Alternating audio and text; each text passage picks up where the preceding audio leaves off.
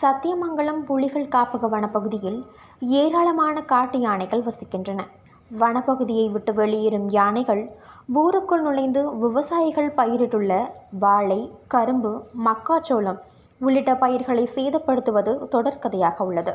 இதற்கிடையே நேற்று மாலை சத்தியமங்கலம் புலிகள் காப்பகம் விழாமுண்டி வனப்பகுதியிலிருந்து வெளியேறிய ஒற்றை யானை ஐயம்பாளையம் சித்தன்குட்டை உள்ளிட்ட கிராமங்களில் நுழைந்து அப்பகுதியில் பயிரிடப்பட்டுள்ள வாழை மரங்களை சேதப்படுத்தியது.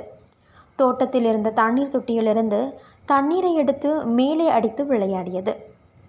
தகவல் அறிந்து வந்த வனத்துறையினர் ஆறு மணி நேரமாக போராடி யானையை காட்டுக்குள் விட்டனர்.